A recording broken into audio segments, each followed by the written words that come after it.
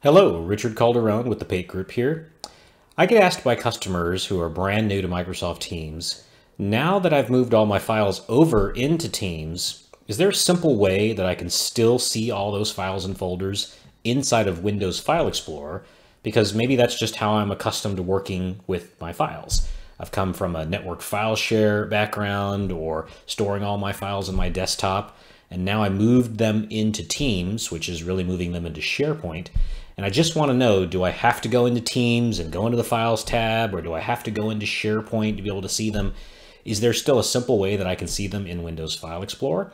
And the answer is you absolutely can, and I'm going to show that to you now. So in Microsoft Teams, you remember that channels is where the work gets done. Channels is how you can organize conversations, content, and apps centered around a topic or a project or anything really that you want to organize your team around. So in this case, I've got a Contoso finance team. It comes with one general default channel, it's called general, and then a series of custom standard channels. So every single one of these channels is going to have a files tab, and this is where I can share and store files that are specific to this channel. And so again, every single one of these channels is going to have a files tab where you will see and can store files specific to that channel. So inside of the channel in this toolbar here, one of the options you have is to sync. So if I chose to sync, it is going to fire up the OneDrive client on my Windows 10 device. And if I've never signed into it before, I am going to have to at least sign in the very first time to get this going. And um, hopefully you can just key in your password and then choose the default settings here to go ahead and get that configured for the first time. And once you do that, what you'll see is in the left-hand side in File Explorer, you're going to have this little special kind of smart folder that typically is going to be the name of your organization or whatever the name of your Microsoft 365 tenant is.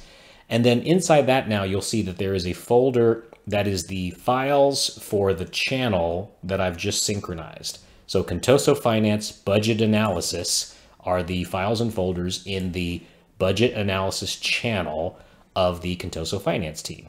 Okay, so I can do that if I wanted and then just choose other channels and do the same process. Go to Files, choose Sync. Now that I've already signed into OneDrive, it doesn't prompt me again. It just does this little strange flash. But if I go back to File Explorer, you'll see now that I have two folders. I have Budget Analysis and I have Finance Review. So again, I can very easily synchronize at a channel by channel level every single one of these. So the question I get asked is, well, what if my team has 25 channels? Do I have to go into every single channel and synchronize every single one of them, which is now going to show me 25 different folders here inside of File Explorer? And the answer is you certainly don't. There is an easier and maybe better way to do this.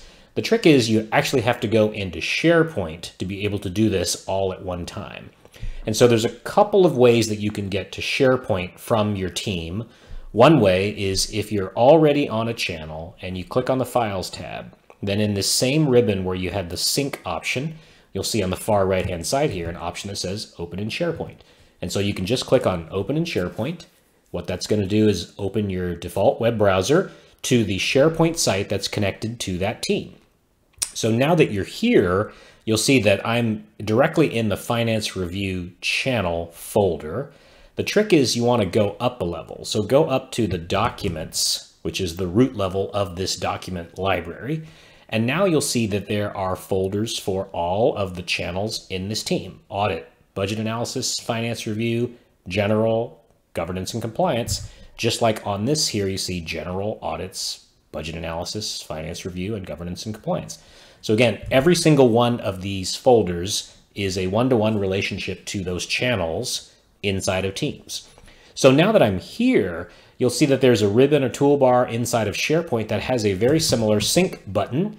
And so now from here, you want to choose sync because it's coming from your web browser. You're likely going to get this little prompt that says it's trying to open Microsoft OneDrive. And you can either check this box to avoid that prompt in the future, or you can just simply click open. And so again, because I've already signed into OneDrive, I get this strange little flash that occurs and I kind of wonder, well, what happened now? So again, I can just close that little box, go back to File Explorer. And then now what you'll see inside of File Explorer is in addition to the two channel level folders that I already synchronized before, there's a folder here that says Contoso Finance Documents. So the Contoso Finance Documents folder now, as you can see, contains all of the files folders, all of the channel folders rather, across uh, the entire team. So now I can just easily go in and out of any of these folders at one time in one view and not have to have them all separated in that way, okay? So a pretty nice way to be able to just say, I want to just see all of the files and folders for a team that I belong to in File Explorer without necessarily having to synchronize individual channels, okay? Now there is a subtle nuance to this in relation to private channels. So let me just give you another example of a separate team and show you how to do this. So if I'm in the Mark 8 project team, for example, um, let's say again, I know this new trick now where I can just synchronize all of the folders and files across all these channels in one view to File Explorer. So I'm going to go ahead and do that. Um, I mentioned earlier that there's a couple of ways that you can get to the SharePoint site for a team, one of which is to go to the Files tab first. Another way is you can just simply click on any of these channels and then from here, in the very far right-hand side of the screen where you have the dot, dot, dot, choose more options. And then at the bottom, you see open in SharePoint.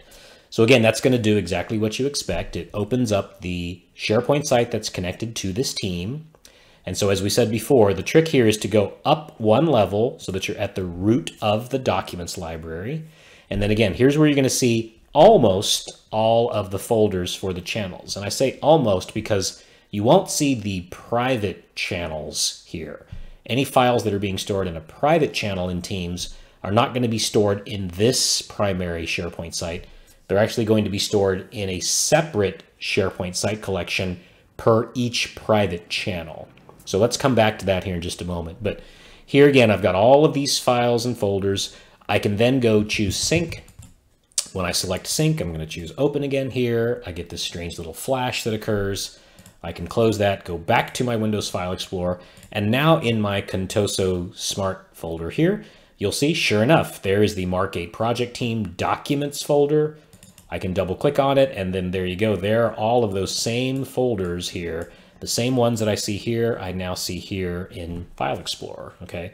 So that makes it easy. If, again, that's something that just suits my workflow to be able to easily get to all my folders and files in Windows File Explorer, then you can very easily have them here instead of having to go into Teams or go into SharePoint to get them. So I mentioned earlier that there's a nuance when it comes to private channels. That's the fact that private channels actually have their own separate SharePoint site collection. So in the Mark 8 project team, you see that I have one private channel here for project leads. So this is a case where you will have no choice but if you if you need to see those files and folders in File Explorer, you will have no choice but to synchronize these at a private channel level. So in this case, again, I'm going to select the private project leads channel. I'm going to go the simple way, which is to go to the far right, dot, dot, dot, choose open in SharePoint. This is going to open the separate site collection that is specifically for this project leads private channel here.